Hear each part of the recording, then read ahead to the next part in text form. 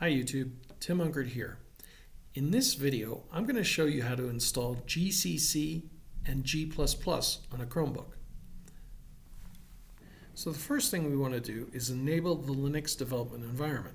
So we can go over to the launcher here, and to enable, enable the Linux development environment, we'll find our settings, and on the left-hand side of our settings, we'll go to Advanced.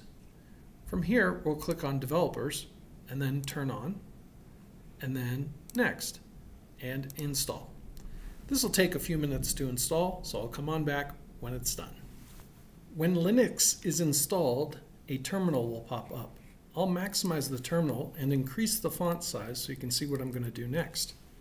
I want to make sure everything is up to date, so I'm going to type sudo apt-get update and then two ampersands, which stands for and, and then sudo apt-get dist dash upgrade with the dash y flag at the end, and I'll hit enter.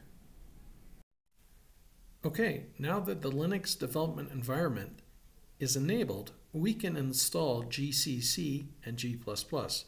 And the best way to do that is type sudo apt install build dash essential.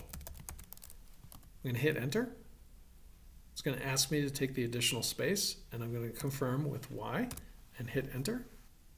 Okay, now that Build Essential is installed, we can check our version of GCC with GCC-V. And we get a bunch of information here. And we see, we scroll down, that we've got GCC version 10.2.1 at the time of this recording. We can also do G++-V, and we also have uh, that installed as well. Congratulations, you can now begin coding in C and C++ on your Chromebook. If you like this video, please give it a like and subscribe to the channel. Thanks for watching.